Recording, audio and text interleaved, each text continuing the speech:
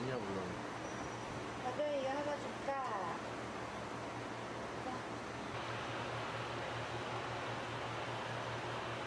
쉬워.